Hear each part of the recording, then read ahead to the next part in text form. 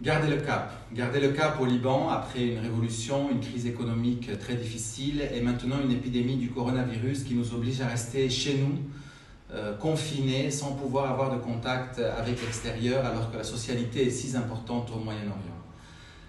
Cette occasion nous a donné la possibilité de comprendre que la vie chrétienne, c'est aussi se recentrer, se recentrer sur les dimensions fondamentales de notre existence qui sont l'amour de Dieu et l'amour du prochain. L'amour du prochain, c'est notre frère, celui qui est à côté de nous.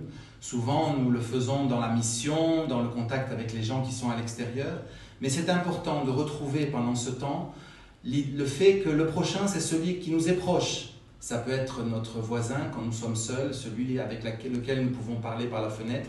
Ici, dans notre communauté, c'est le frère qui est à côté de nous et qui a souvent besoin de notre présence et de notre accompagnement dans cette situation un peu difficile. Et puis nous recentrer sur ce cœur à cœur avec le Seigneur qui est fondamental dans la vie chrétienne. Pour ça, la parole de Dieu, la méditation, euh, la prière, c'est sûr, nous avons la chance ici de pouvoir célébrer l'Eucharistie, de pouvoir adorer le Saint-Sacrement.